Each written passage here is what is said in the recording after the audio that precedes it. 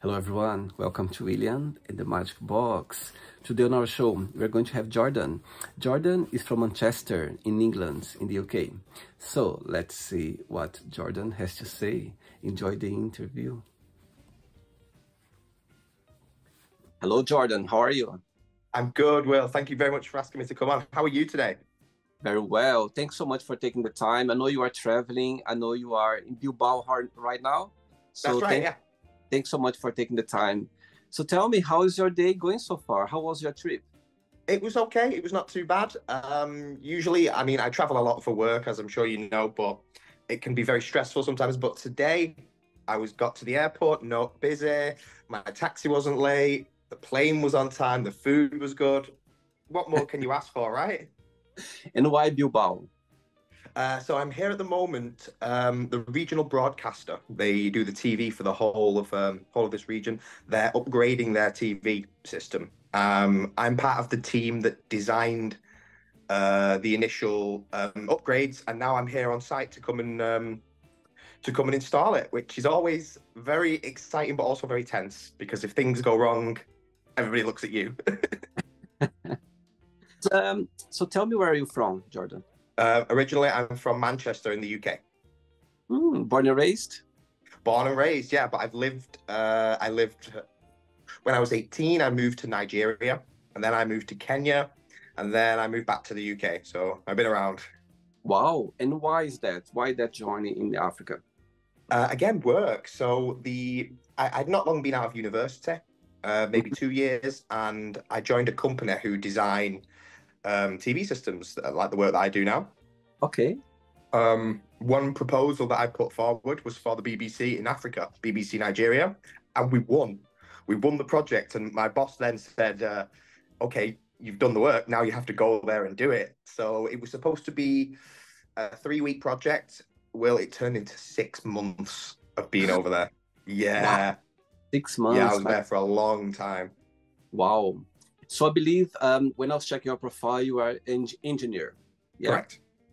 So what's the best part of being engineer? What do you like the most about your career? It's if you would have asked me this a year ago, I would have said the travel because we get to go and see some exotic places, we get to go and meet some new people.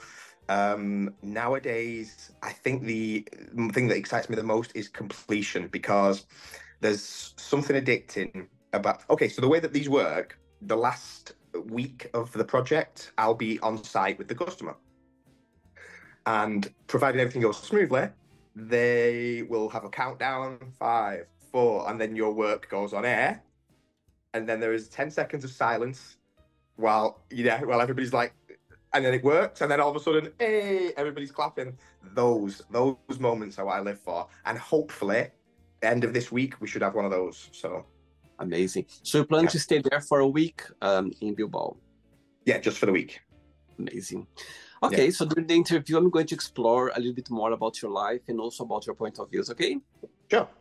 But before we start our journey within the Magic Box, would you like you to tell me something interesting about yourself or maybe something that not many people know about you? Oh, something that's interesting about myself uh, or something that not, many people know about me. This is really boring, but I'm kind of proud of this. I was 16 on the 6th of the 6th, 2006.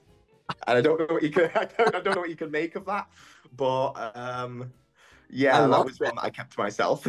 I love that. Oh my god, that's amazing! It's a day. Do so. Tell me that this day, when you know this special date, where were you? What you were doing? Tell me a little bit. Of course, we're celebrating, but do you remember the date? Yeah, yeah.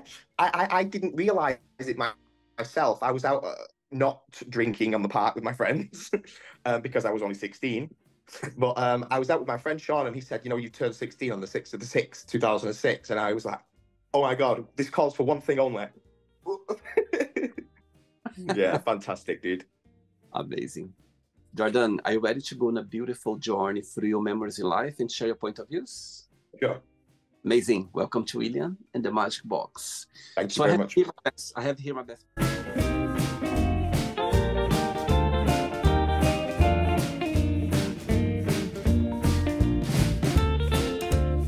full of random fun questions, okay? I'm just gonna play a song just for us to relax before the first question, all right? Okay. okay. Let's do it.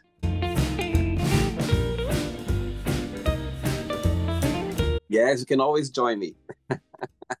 right, so during the interview, if it comes up a question that you don't want to answer, you don't want to talk about, always can change, okay? Okay. Amazing. First question for you is tell us a funny or a memorable um sorry, let me start it again. Tell us a funny story or a moment that happened to you when you were a child at school. Oh, when I was a child at school.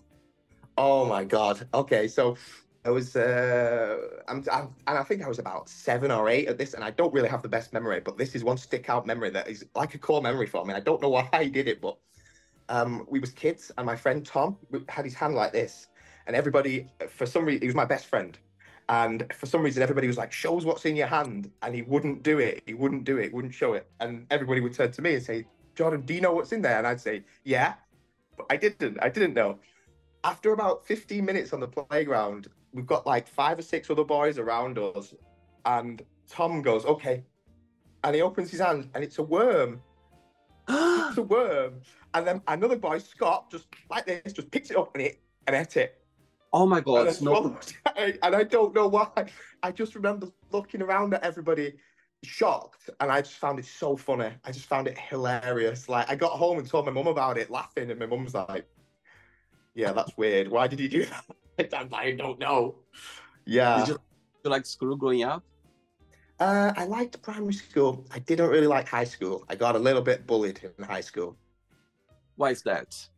Um, I was quite loquacious. I was a geek. I liked, uh, you know, nerdy stuff. And back in the nineties, growing up in, in, in the UK, that wasn't allowed. You know, you you had to be a skinhead. You had to like football. You had to uh, all the man stuff. You know, and I just didn't like that. I liked sitting playing on my little PlayStation and you know that kind of stuff. And I was quite I was quite fat as well. Mm, that didn't help. and do you have siblings as well, Jordan? Say again? Do you have siblings as well, brothers and sisters? I do. I have two younger sisters. I see. And which person in your family you feel more close to or more connected with right now? Probably my dad. And it's because we've had a bit of a tragedy in the family the last sort of few months. So, uh, uh bizarrely, that event has driven me and my dad closer. We didn't used to speak much before wow happen, but now it's every other day. I'll text him or I'll phone him, just checking on him, you know. Um, it, it was giving me the opportunity to learn more about my dad. You know, for example, I, I, go to the gym quite a lot now, and I found out that my dad used to go to the gym, and I, I think to myself like, oh. I'm 30 years old. How do I not already know this about my parents? You know, amazing. Wow, it's so interesting sometimes how life, you know, those you know events in life mm. that bring us together somehow and you get to know the person much better mm-hmm. okay let's say that your dad is watching this interview right now and you have a yes. moment an opportunity to send him a message message what would you say? Keep your chin up dad. It's gonna get better. Sorry it's gonna get worse before it gets better because that's just how heartbreak works and know that i love you we all love you beautiful beautiful. Thank you. Next question let's do it. Yeah sure. This is good. Hey, Jordan from Manchester in the UK. Yes. Tell us about your guilty pleasure. My guilty pleasure. Domino's. Oh my god, I cannot get enough of Domino's. So, uh, as I mentioned, you know, I, I, go to the gym quite a lot. Um, my diet is very specific. I have to eat, you know, within a certain calorie range or a certain protein there's been times where I've just been driving past Domino's and I'm going, nope, nope. and I'm looking at it going, nope. And then I find my hands like, oh my God, what's happening? What's happening? No. Off I go to Domino's. And then the next thing I'm sitting in the car park with a 12 inch pizza on my half gone, thinking, why have I done this? and then I have to go and put the box in the bin so my partner doesn't find out. so yeah, at the moment I can't stop eating Domino's and my skin is breaking out for it. But you know, this is a lesson I refuse to learn. and what's your favorite pizza from Domino's? It's got to be either the Meateor because they do a barbecue base, so the sauce is like a barbecue, and then it's all different kind of meats, or mm-hmm. the pepperoni passion. But I find the pepperoni passion if I eat too fast, it gives me incredible heartburn. I don't know about you, but I think once I get past the age of like 30, even a deep breath can cause heartburn these days. it sucks. Yes, I understand your point. And I actually love pepperoni pizza as well. I can eat like the whole thing. I love it. Yeah. Wow. I feel hungry now. You're saying about pizza. I am so sorry, Will. I'm so sorry. It's okay. It's okay. Next question. Jordan, before the next question, of course, we got connected from TikTok. Yeah, that's how um, our path crossed. Tell me something. I was checking your profile a little bit. I was uh, looking some of your videos. What's the mes- the message behind? What's um, people who see your page, people who connect with you from social media, from TikTok? Mm-hmm. What's something that you'd like people to take with them? What do you like? What is the idea behind your page? Origi- it's a great question. Originally, I started the account because um, with the job that I do, I, you know, I get to see quite a lot of stuff. It's quite interesting, you know, the, the technology behind it. I get to go and see a lot of nice countries and some nice experiences. And uh, I, I, originally I wanted to create the account to show my day-to-day job and see, you know, mm-hmm. what what people thought of what it's like to be an international broadcast engineer. And then it sort of evolved into more um, just sharing my day to day, and that could be where I'm sat at home, my cats, um, gym stuff. Although I've not really shared anything in the gym yet. Um, and that's been it's, it's weird because that's been more well received than just posting about work. So I guess um, a cult of personality would be a bad way to put it, but I just want to show people um, what it's like to be an international broadcast engineer because there are times where I'll get a phone call and they'll say, okay, we need you in Los Angeles in three days. Wow. And yeah, and I'm a parent as well, you know, and I've got to deal with my partner and say, I'm sorry, you know, you're gonna have to look after my daughter. And so it can be it can be stressful, but also very beautiful. And I hope that's what some people can take away from it is there's a profound beauty in being able to travel the world and get paid for it. I see.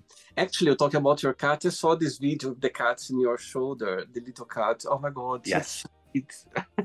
yes, he's adorable, isn't it? So he's he's caused a stir at the moment because um, we already have one blue cat, and he's uh, he's he's the big baby, and he does not like that there's a new big baby. Sweet. Next question for you is: Do you consider yeah. yourself to be a spiritual person, and how?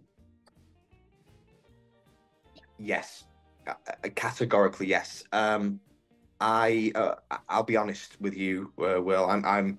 There was a time in my life I was not a very good person, and I have no shame in admitting that. And the reason I have no shame in admitting that is because luckily I was blessed with the ability to be, be introspective and look at the person that I am and do it with, an unfiltered lens. You know.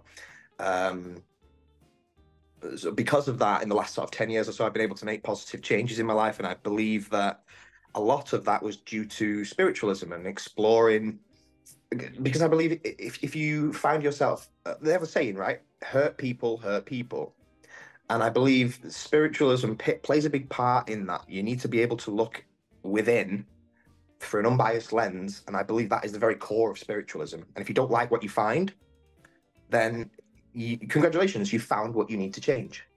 And um, it's helped Absolutely. me become a lot more compassionate, a lot more friendly, a lot more approachable, and just a lot more able to deal with stress in life, you know? Wow.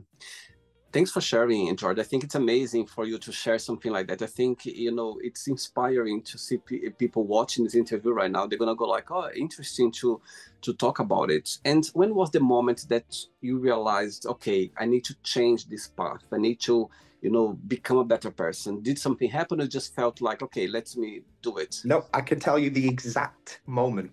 I can tell you the exact moment. So, um, uh, one, I think I was about 26, 27. I moved to a new area in the UK called High Wycombe. And I met a friend, Chelsea. Shout out Chelsea for when, for when she watches this. Um, and I was I was single at the time, and I was seeing a couple of girls at the same time. And I turned to Chelsea my, my friend and said, you know, oh, I'm, I'm seeing her, and then later on tonight I'm seeing her as well, expecting like, you know, encouragement or just like, hey, you know, something. And she was like, why are you doing that? And I was, I was taken aback. I was like, what do you mean? He was like, these are people with feelings that you.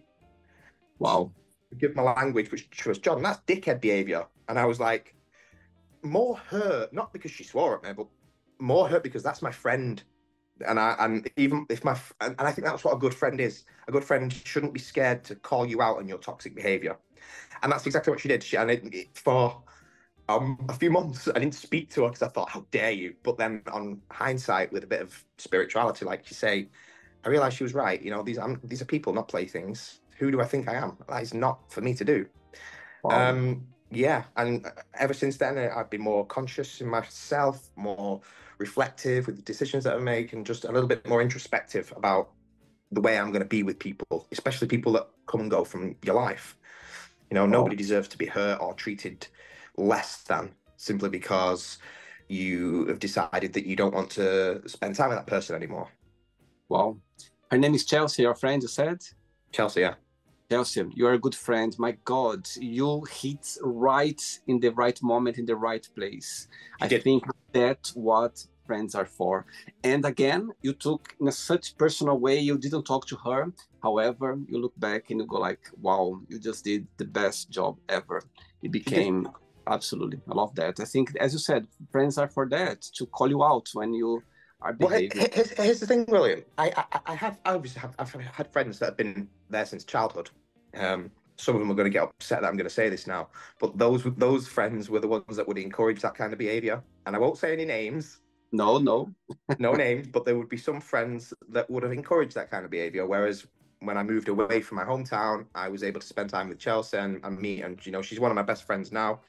She's married with a child, like she's really happy, and yeah, for her to do that was really humbling experience for me. But it also opened my eyes and made me realize, you know, this is what growth is absolutely and those friends as well do, who they were encourage you so as well i don't think they're they're they're just not ready yet to kind of give the right message for you maybe or maybe they they thought that that would be a, a thing that to support you i don't think they were bad friends they were just in a in a place that you're not there to support you you know somehow Correct. that's Correct. how I see you're, you're, yeah this as i say I, I say this but there are also some of the most fiercely loyal people I've ever met in my life. You know, I could call them at 3 a.m. and say, I, I really need somewhere to stay. They'd be like, yeah. why are you not here already? Come. Absolutely. Next question, ready? Yes. Let's do it. Next one. Yes. Next question is What's the, the, the most memorable dream you ever had? Dream? Yeah. Oh my God. This is crazy this is mental. Okay, this was a couple of months back, and it, it shocked me that that much that I called my, my, at the time we was getting on. I called my mother, my father, I called my sisters. I, my daughter was there. Okay, this is wild. Okay, and I don't know why. So I was asleep in my bedroom, and I, I woke up in my own bed, and I can see something in the corner of the room shimmering, like a shimmer, and I'm like scared immediately. Fear. I'm like, nope. Close my eyes, and then I look, and it's still there. And after about five to 10 minutes, I start to calm down. And I think, what is this? So I get out of my bed and I walk up to it and I'm looking at it. And it's like the light is fractured. I can't describe it. Well, I can't describe it. But I went to put my hand in and it went, excuse me. I was like, oh my God, you can talk. He's like, what do you mean I could talk? Why would I not be able to talk? I'm like, you're a person. And then he said, you're being a little bit weird about this. I'm like, no, I'm not. And I panicked and I went to run out into the hallway from my bedroom. I opened the door and I don't know why. I, I know I was in rural Japan. Oh my God. I was in rural Japan, just looking down at an old Japanese. It was beautiful, immaculately clean, really small little dingy shops. And at the bottom of the road was my daughter, and she was about 25 years old. She looked older and I woke up. I woke up like, and my daughter was in in um in the asleep in the bed next to me, and I'm like, "Liv, wait!" And I had to wake her up and tell her like, "I've just seen you as an adult." Here's the thing, though, I don't really dream much, so for that to be, and it was so vivid, I'm like, I, I could experience, I could feel the sun on my skin, I could smell what it was like there. Um, banana, bananas, bizarre, really bizarre experience. Um, yeah, I can't explain it to this day, but it got it got to me that much that I, I told everyone that I could. I'm like, it was real, I swear. Obviously, now a few months have passed, I realized it was just a dream, but it felt that real. It blew my head off. I know those some dreams it, they, they they look they, they feel so real that when you wake up you go like my god it, I just was there it, it, it happened yeah I exactly know Jordan when you think about yourself when you analyze yourself what's the biggest joy of being you what do you like the most about being Jordan Uh, you know, if you would have asked me this a year ago, I would have said nothing.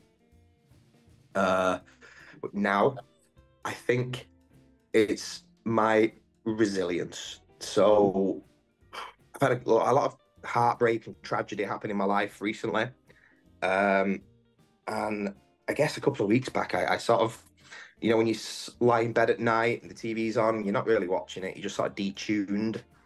I Mhm. can just remember thinking to myself, the situation that's going on in your life at the moment, this would have crushed you a year ago.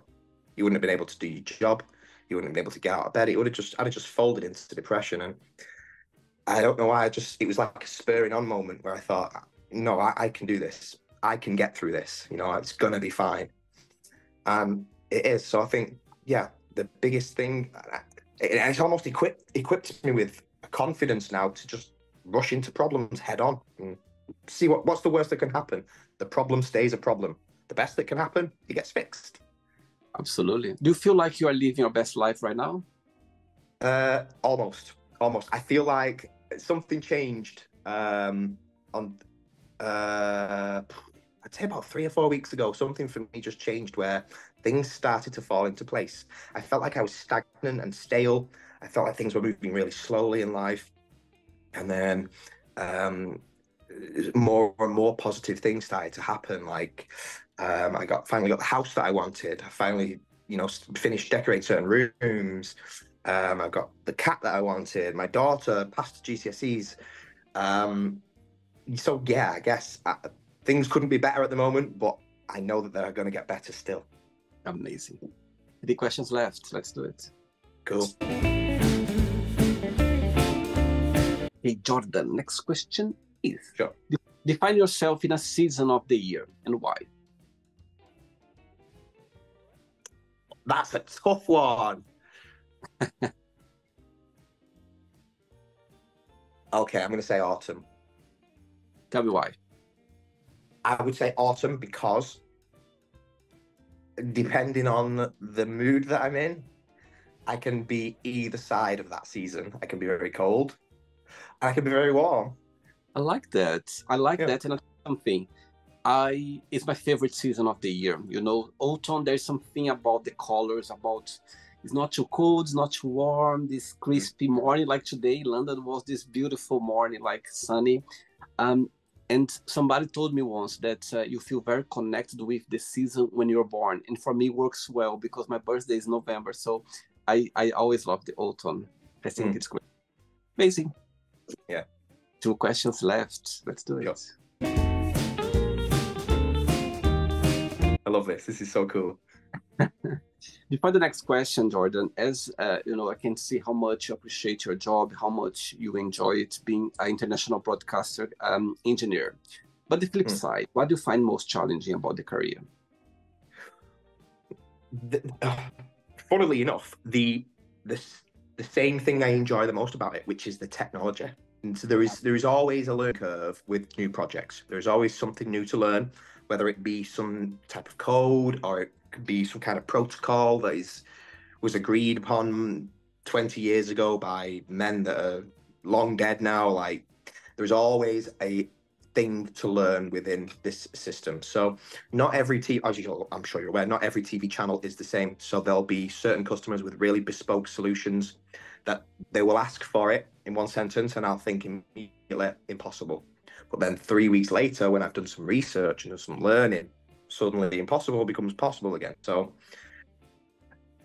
that can be a negative because sometimes you do come away and have to say to your customer, we just can't do it. But most of the time, I'm pretty positive about it. I mean, you you have to be interested in your job, right? You have to be you have to find it interesting. You have to fa- have some passion about it.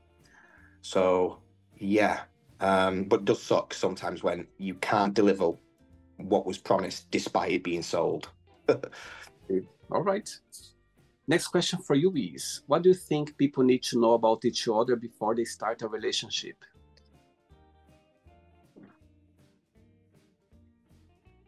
That's good. Which side of the bed do they sleep on, for starters? um,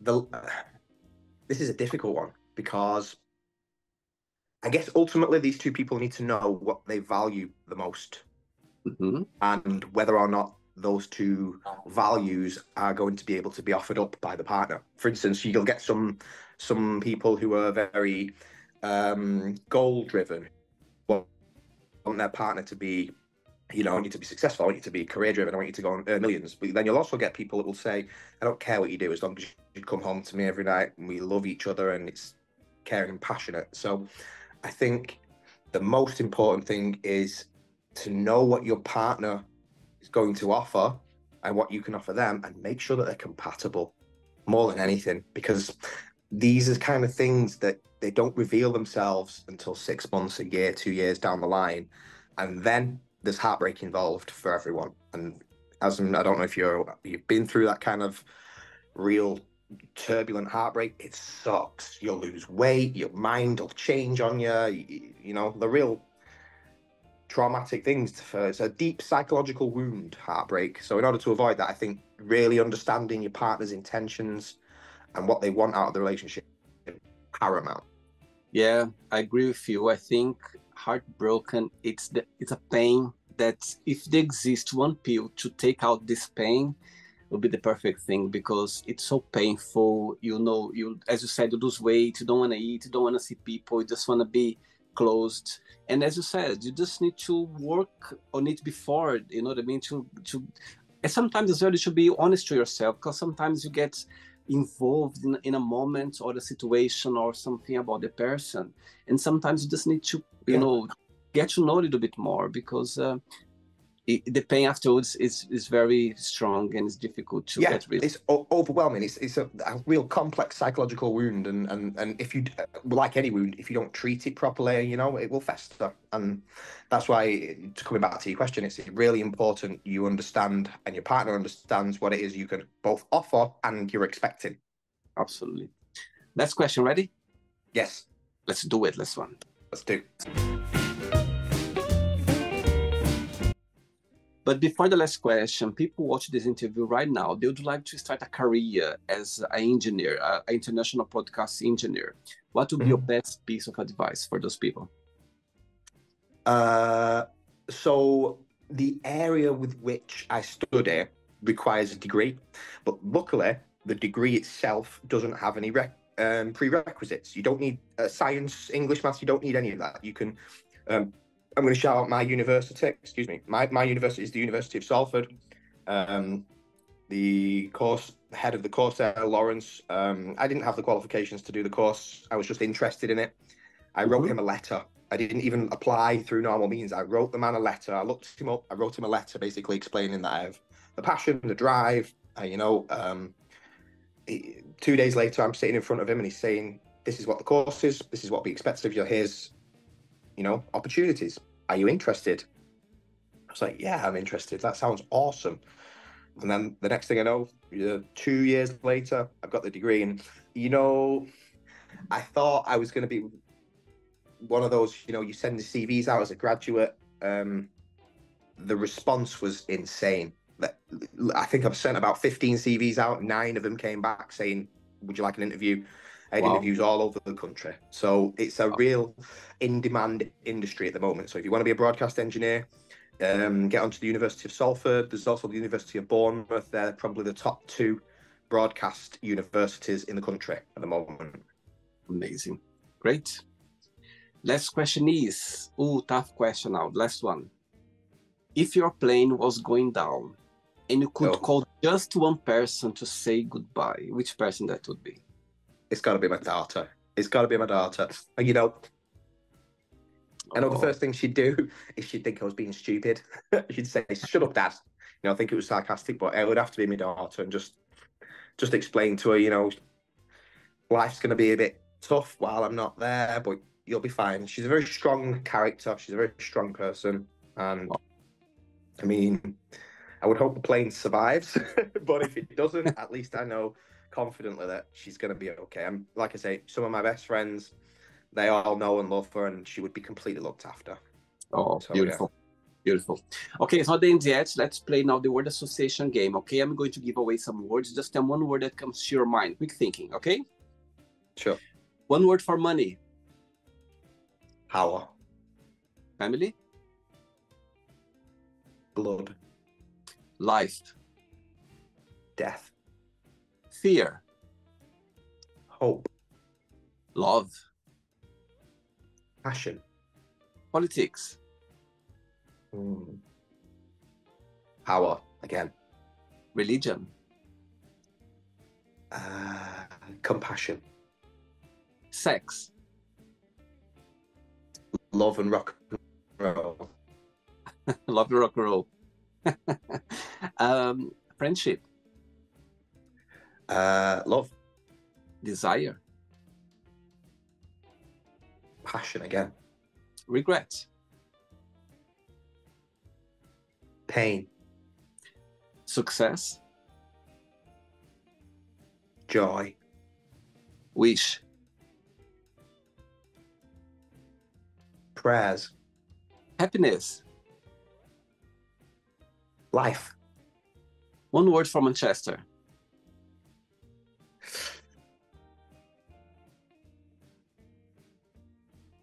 Gritty. I like this. I never heard this word before. Say again. Gritty. Ah, gritty. gritty. Yeah, well, that's the perfect word to describe anybody from Manchester. Gritty. You made my day. I learned something new now. I like it. I love it. Um, one word for England. Oh. And the last one now. International broadcaster engineer. One word. Me. Amazing let's pretend now I'm going to meet your daughter, yeah, and I'm going to ask her, define your dad in one positive word and one negative word only. What should say? She would say, I know exactly what she'd say. She would say stupid and late. stupid being positive and late being the, the negative. Definitely. You always late. I I could get a wristwatch tattooed on me and I'd still be late. you know, it, it doesn't sound very English, do you? no, I know, I know, I know. It's, it, it's awful. I mean, even with, with, the job that I do at the moment, um, even some of my superiors know that like my, my timekeeping is a mess. But I'm luckily I'm trusted in the sense that they know that if they're giving me a deadline, I'll meet the deadline. It's just if I'm 15 minutes late in the morning, just let me be 15 minutes late. no, I'm just saying that because I'm from Brazil, uh, Jordan, and when I arrived in London, um, you know, Brazilian people, South America people, you have this tendency of arriving late. It's a Brazilian thing, you know. And I remember my first job in in London. It was an Italian restaurant, and I arrived like late. And uh, this manager told me, William, you are in England, you are in London, you need to arrive on time. I was like, oh my God, it's true. From that day on, I learned my lesson. That's it. Yeah. I always. yeah, no, I, have got. It's the same. Yeah, I, I grew up in a very punctual school, very punctual jobs. I don't know why. Well, it just, it just doesn't. I don't know. I, I, don't know. I understand your point. It's just so mm. I think about you. It's just a think about you. Mm. Let's play now, Jordan, in the magic box, and you can ask me a yes. question. But before that, let's play the music one more time. Let's do it.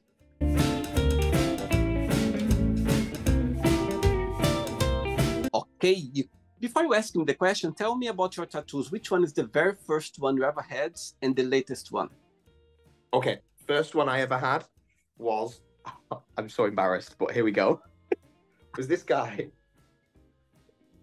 Oh wow, I can see. Oh my god. It sucks. It's, I know, I know. I was 14. I was 14 years old and oh. I got it done by a guy in his living room while he was smoking cigarettes, while he was like tattooing me with a cigarette in his mouth, kind of thing. No gloves, no wipes, just me just sitting there having paid thirty pounds, just like. Wow. Um, but this one, this is my, this is a sleeve. Um, it's inspired by an artist called H.R. Giger. Okay. And he believed very much in the biomechanical um, movement, the ethos, basically the understanding that one day machines and biology they will merge together. Um, and we're seeing that already. Things such as prosthetic limbs, prosthetic lungs, and hearts. So, if you can imagine. Oh wow! Yeah. Interesting. Wow. It's all like pipes and cables coming through the skin. Um, yeah, but there is still a lot to go. So we've got all of this done. But the, I've got here to go, and I'm really scared because this is going to hurt. it's going to hurt. Okay, you can ask me a question now, Jordan. I don't. I don't know if someone's going to have asked you this before, but what made you start this channel? Well, great question. You know, 2020 when the world went upside down. Remember? Yeah. So, um, before that, I was already thinking about creating something on YouTube where I could connect with people, I could express myself, I could let people express themselves as well. But I didn't know how. I didn't know what I could do. I want to do something different, something that uh, uh, that I could express myself. Um, so 2020, when the when the COVID was on, um, remember you could leave the house once a day for exercise. Remember? Yeah. So I went for a run in the park. I remember the date. I remember the place literally I was running, running, running, thinking about, you know, my thoughts was everywhere. And suddenly this idea came along. And I was like, oh my God, that's oh. what I'm going to do. I'm going to create a question, uh, like a, um, a, a, channel where I can have random questions and I'm going to ask random people around the globe and see what they, what their, their opinion about it. And exactly how it started this way. And I'll tell you something now. Um, when I look back from my life as a teenager, when I came to England, in Portugal as well, um, when I meet friends, I was already doing that, uh, Jordan. I remember like going on holidays with friends. There was always a, a time I was like, "Who was your favorite teacher? Tell me something about so I was doing that already, of course, in a, such a smaller proportion. So yeah, it's about it's a channel where I can express myself, and I love doing the show because I, I meet so many people around the globe and seeing mm. people sharing their stories, and it's amazing. So that's how the channel started. No, yeah, you seem very you seem very happy and like people people oriented. I've seen you've got a lot of videos as well, and you still maintain the same energy. So I can tell that this is like passion project for you, and I love that. Like, I'm I'm hoping all the success in the world with it from YouTube. I'm hoping you know this can become your full time job if it isn't already. Can't wait. I'm working hard for that. You'll get there. You'll get there, Will. Amazing. Thanks so much, Jordan. Thanks for being so kind and sweet and to accept my invitation. Also, it was very inspiring for you to share your memories, the happiness in your eyes when you talk about your daughter. My God, what a beautiful, uh, oh, beautiful oh, story. You. So thanks again. My God, you are, you are in Bilbao. You should be resting. You should be, I don't know, going to see something, but you are here. So thanks so much for that. After, yeah? After you're going to go, yeah? well, I've got to go to the gym and then I'm going to go find a nice tapas restaurant, eat some food, have one guilty beer, and then uh, maybe I'm right by the beach, which is pretty good. So maybe wow. we'll go for a little dip in the sea. We'll see. Amazing. Before you go, if you can share a positive message or anything that you live by. I'm going to quote a movie. Okay. I'm going to quote a movie, and I think it's a, it's a really good um, a really good way to live your life, and it's don't take life too seriously because nobody gets out alive. Totally. Live life day by day, you know, enjoy yourself, be good. And I think that's uh, the meaning of life just to become a better person every single day, enjoying the journey. Yeah, exactly that. Amazing. Okay, it was a pleasure. Thanks so much. Okay. Yeah, no, pleasure's all mine. Thank you very much, William. Take care. Bye bye. Take care. Take care. Bye. Bye. So, did you like the show? Don't forget to give a like, to share it, and also don't forget to subscribe to the channel. And if you'd like to be part of the show as well, first subscribe to our channel, and after that, just go to our website www.williamandthemagicbox.com and send us a request saying why would you like to be part of the show. And I see you there. Bye bye, see you next time.